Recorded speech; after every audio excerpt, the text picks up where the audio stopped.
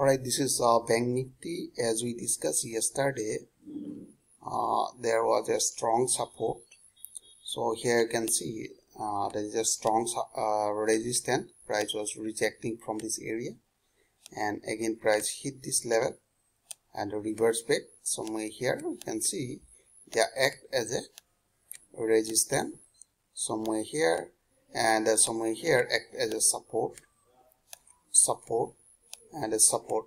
Now this level around 21,000 uh, 21,000 let's say 100 this is a strong support.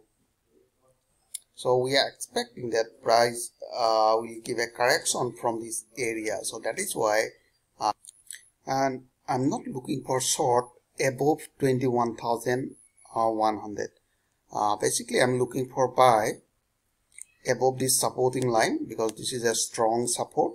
So i'm looking for buy after getting a buy confirmation. Remember i'm not entering this market blindly. I need a confirmation. All right. Why i'm looking for buy? Because we have seen multiple rejection rejection rejection and a rejection. Somewhere here rejection. So multiple rejection means this is a strong support now remember if another thing if price break this supporting line i'm looking for short means below 21100 okay uh, let's see this make it uh, 21000 because we are giving 100 point buffer.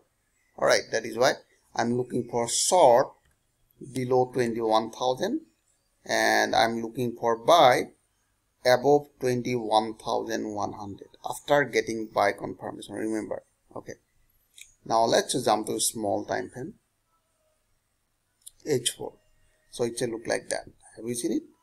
Uh, in H4 chart there is 200 simple moving average and I'm looking for buy or I'm just looking for a buy confirmation. Once they appear buy confirmation definitely I'll go for buy or remember or.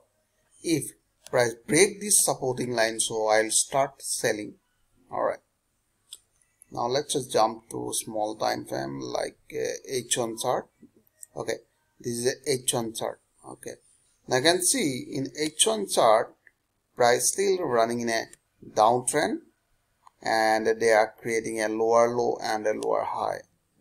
So in that case I need a buy confirmation so I'm just uh, waiting for a candlestick pattern. Uh, I'm waiting for a uh, uh confirmation from parabolic chart another I'm applying stochastic. So already they are running oversold zone and I'm looking for a, a buy confirmation so definitely I'll go for buy and I'll close my position around 22,000 exactly.